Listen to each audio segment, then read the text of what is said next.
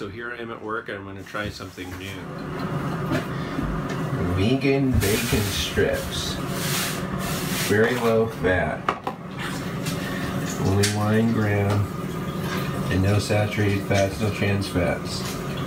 No carbs either. Hmm. Interesting.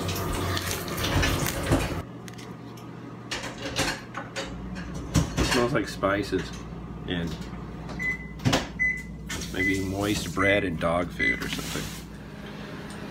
So I'm going to uh, cook these up in a pan, non-stick pan. I'm not using any oil.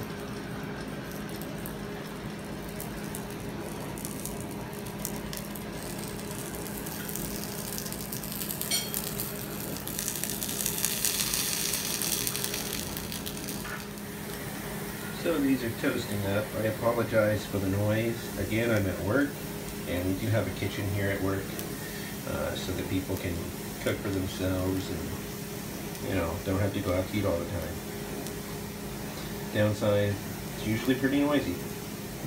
There it is, the cooked vegan bacon. They shouldn't be allowed to call it bacon if it doesn't come from a pig. Yeah, the lighting in here is not real good, but I'm gonna give this a try. Smells like burned toast and beans. It's crunchy.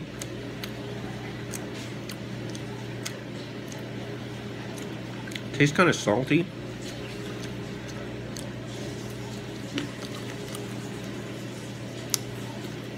It doesn't taste like bacon. But it doesn't taste bad either.